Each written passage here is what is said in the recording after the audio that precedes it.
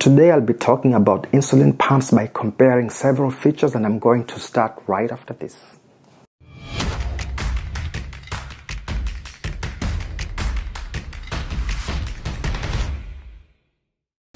What is going on? My name is Abdul Basha Wuth and welcome to another video. And if this is your first time here and you want to learn about drugs and diseases, start now by subscribing and clicking the bell so that you don't miss anything.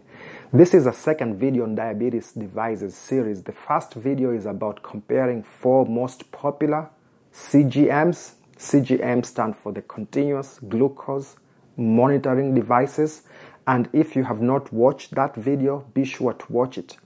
I'm going to start with the basic to bring people not too familiar with the insulin pumps up to the speed. So, what is an insulin pump? An insulin pump is a small device that mimics some of the ways a healthy pancreas works.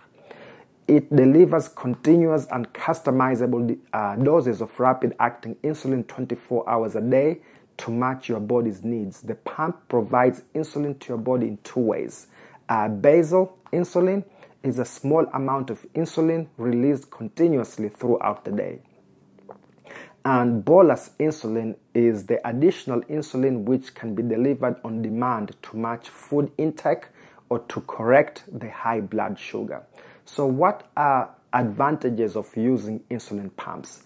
Uh, it gives you more flexibility in life, uh, predictable and precise insulin delivery, reduces the risk of low blood sugar, help with the dawn phenomenon.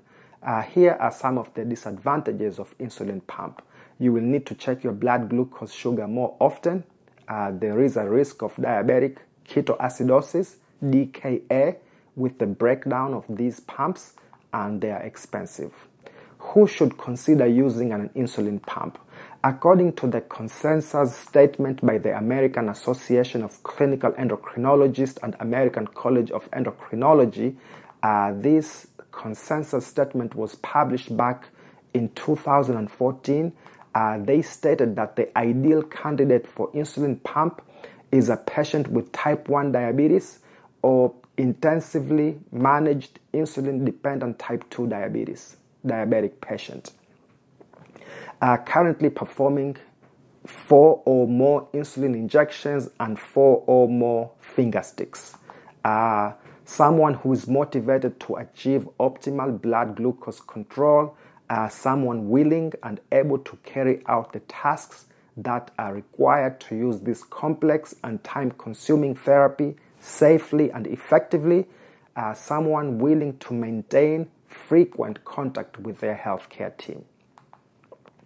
Now, with the background information out of the way, let us now get to the main issue we are discussing today, and that is looking at the pros and cons of several insulin pumps. Before I start, I want to mention that most of the information I'll be sharing with you regarding the pros and cons came from this website called Integrated Diabetes Services. Uh, choosing an insulin pump doesn't have to be an overwhelming process. Should you go with a more traditional pump where you can monitor your insulin levels directly? Are you looking for a model that works with a blood glucose monitor and allows you to administer insulin via remote? Maybe you need a pump that offers integration with a CGM system. So, with several models on the market, let me help you sort through the choices by taking a look at the popular insulin pumps and breaking down the various features of each Please use the pump comparison to help make an educated decision. At the end of the day, the choice is yours. Let's start with the Tandem uh, T Slim X2 and T Flex insulin pumps. Uh, these pumps are FDA approved for patients six years and older. Let's look at the pros of these pumps. The X2 has software feature updatable through download from website uh, it has a bright full color touchscreen, modern, high tech appearance, compact, thin dimensions, uh, rapid number entry, fastest bolus entry. It has two way Bluetooth. The X2 in particular allows full integration with multiple devices, including smartphones and CGMs. Uh, the T Flex holds up to 480 units of insulin. This is kind of nice. It doesn't require disposable batteries. You just charge it. Comes with a USB. It can calculate boluses up to 50 units. Uh, site change reminder with customizable day and time. Graphic on-screen history display. Carbohydrates counting calculator. Um, insulin on board and time remaining displayed on home screen, uh, missed bolus reminders customizable by day of week, alert for high temperatures, secondary uh, basal programs can be linked with secondary bolus formulas, limited and intended insulin movement with changes in pump position. Uh, the X2 uh, when it's integrated with the G6, with a Dexcom G6 and Basal IQ, it provides low prediction, I mean the hypoglycemia, low blood glucose prediction, and basal suspend feature. Uh, this is very nice feature. Now let's look at the cons for these uh, devices. Unlock procedure required to perform any programming no attached clip must be put in a case that has a clip. Uh, tubing connector looks medical, can snag on clothing. Uh, proprietary tubing connection cannot use third party uh, infusion sets. Basal and bolus settings in same time. Slots may take several steps to edit. Extra confirmation steps with old programming. weak vibrate mechanism, no meter integration uh, company's long-term viability is uncertain. Uh, pump is their only product for this company, which makes this tandem and requires charging one to two times a week. Now let's look at the Medtronic MiniMed 670G. And this pump, this pump is approved for patients seven years and older. Let's look at the pros for this pump. It has a large, secure, long established company. Absolutely, Medtronic is a, is a company leader when it comes to uh, diabetic uh, devices and actually many medical devices. Uh, industry leader in the research and, and development. Data from Medtronic Guardian CGM displayed on screen. Automatic basal shut off when low glucose detected by sensor uh, this one may prevent uh, uh, prevent severe hypoglycemia. This is a very nice feature. Hybrid closed loop uh, called auto mode, basal adjustment based on CGM readings and predictive al- algorithms. High contrast full color screen, slim attachable slip, uh, slim attachable clip. Sorry, integrated meter serves as remote control for bolusing. Uh, frequently used boluses and temp bases can be stored as presets, down, downloadable to online CareLink program, choice of slow or fast bolus delivery uh, generates insulin carb blood glucose statistics. Here are some of the cons for this um, device airplane, mo- airplane mode option CGM and auto mode require additional finger sticks for calibration and safety checks. Maintaining auto mode requires a higher level of technical acumen and integration with the pump. Frequent system alerts in auto mode may become intrusive. Screen and text are relatively small. Insulin on board only de- deducted from correction from uh, correction boluses. Downloading restricted to CareLink program. It's a proprietary program, so they don't allow third party. Uh, multiple menus and programming can be complex to master. Many buttons, presses, and confirmation steps in basic programming. Uh, companies' marketing can be overly aggressive.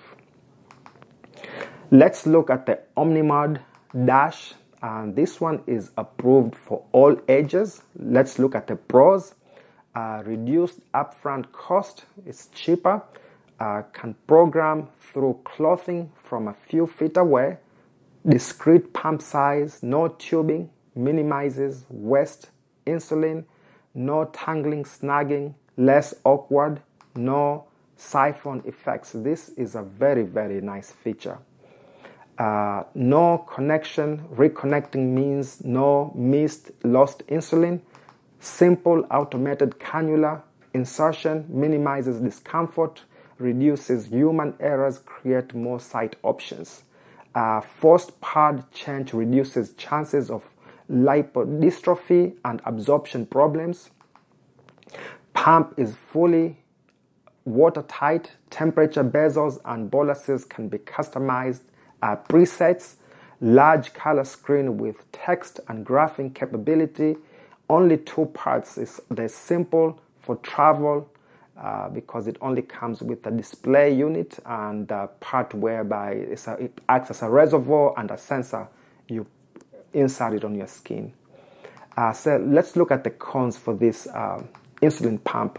Low suspend hybrid closed loop features in development, uh, no integrated CGM, bulky programmer, takes seven gestures to get to the bolus calculator, interface not intuitive. No integrated uh, blood glucose monitoring, must use Contour Next blood glucose monitor for Bluetooth connection of blood glucose data to the PDM. A pod creates a bulge on the skin. Maximum reservoir volume is only 200 units compared to the other one, I believe it has like 480 units. Uh, needs charging every one to two days. Finally, I just want to briefly talk about a small study uh, that was done on the Medtronic MiniMed 670G. Uh, it says new hybrid closed loop insulin pump proves hard to use for some patients with diabetes. Uh, this was published back in March uh, of 2019. Uh, it says among first time users of a new insulin pump that automatically delivers insulin to people with type 1 diabetes, nearly one fifth stopped using the device primarily because of difficulties meeting the technical demand system. Uh, the technical demands system, researchers say, results of a real world study of the hybrid closed loop insulin pump uh, Medtronic MiniMed 670G. Uh, so Goodwin and his colleagues at the hospital's diabetic clinic prescribed the device to 83 patients who requested it between May 2017 and September 2018 and who had experience with an insulin pump and CGM. A manufacturer's representative trained patient on the system. Patients ranged in age from 6 to 25 years with most in their teens. Uh, 16 patients, which uh, is 19%, stopped using the new technology within months. The research team reported Goodwin said the main reason for discontinuation was that it required too many calibrations or dissatisfaction with the device, forcing exits from the auto mode for various reasons.